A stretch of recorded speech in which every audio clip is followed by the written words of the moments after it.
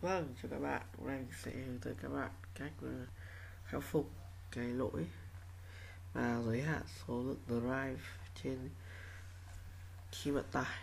Vì đó khi bạn xem.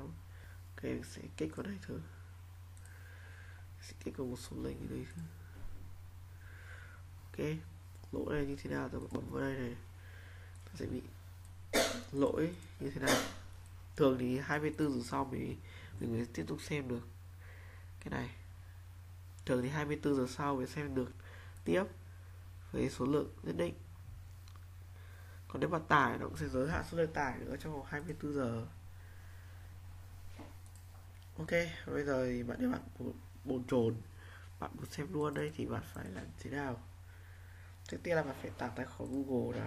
Ở đây mình đang sử dụng tài khoản google với tên là long lân 688 com.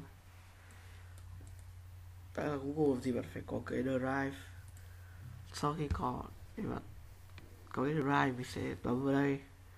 Mình thêm vào drive của mình.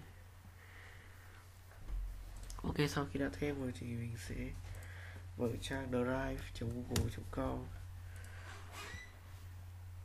cái này sẽ xảy ra trong cái trường hợp mà mình sẽ các bạn là bị giới hạn cả lượt tải nữa. Các bạn không tải được. Đây là nó giới hạn xem thôi. Còn tí nữa nó sẽ giới hạn cả tải. Lúc nào nó sẽ giới hạn cả tải thì thôi cũng được. Ok.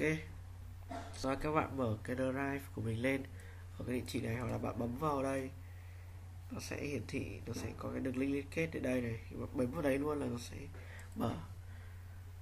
Ok.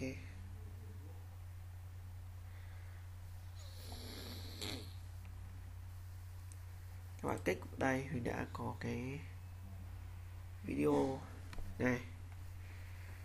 Các kích chuột phải lần nữa chọn tạo bản sao. Sau đó các bạn tải bản sao này về. Nếu các bạn tải hoặc là xem luôn, đây cũng được. Hoặc là các thể sử dụng đây thì xem. Đây, phần là mình hoặc khi mình ép vào đây thì đâu vậy đây. Và ra bạn có thể xem luôn đây được rồi À không, đây không được. Đây chỉ bản sao thôi. Các bạn tạo ra cái bản Đây này, bạn tạo ra cái bản ở riêng mình. Ở đây bạn có thể xem luôn trực tuyến ở đây. Các bạn tải xuống cũng được. Ok.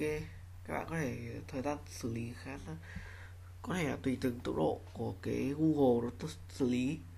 Thì đó chính là cách mình đã xem được video hay là tài liệu mà không tải được. Các bạn ép vào drive mà tải xuống bằng drive của mình. Tuy nhiên là đối với video thì sẽ hơi khác. Các bạn đã xem xin và hẹn gặp lại.